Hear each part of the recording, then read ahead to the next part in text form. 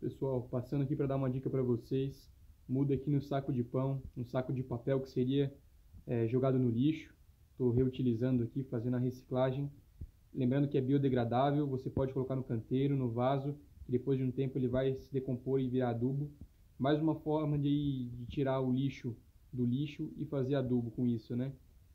Pezinho de feijão vermelho, bem bacana, com bastante raízes já, vai crescer um pouquinho nesse recipiente e depois a gente vai transplantar aí para um canteiro. Beleza? Espero que você tenha gostado. Ensine aí seus filhos, seus amigos a reutilizar as coisas, que é muito importante. Você se torna mais responsável e ajuda as pessoas que você ama se tornarem mais responsáveis e mais sustentáveis. Espero que você que está assistindo esse vídeo tenha uma boa semana e colha bons frutos.